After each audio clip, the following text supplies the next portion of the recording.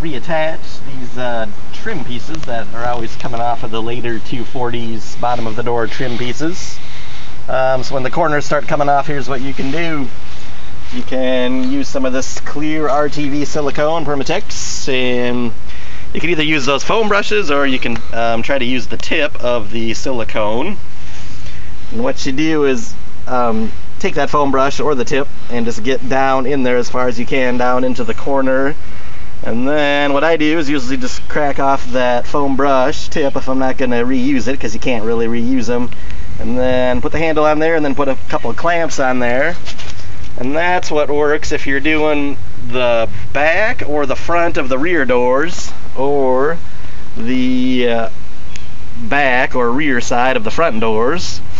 And then for the front of the front door since you can't really get a clamp in there what I use is a block of wood and a 240 jack and you put it up against an immovable object such as this other 240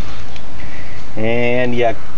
push it on there and make sure it is making that uh, silicone seal. And I've had pretty good luck but you just got to make sure you get at them when they first start going.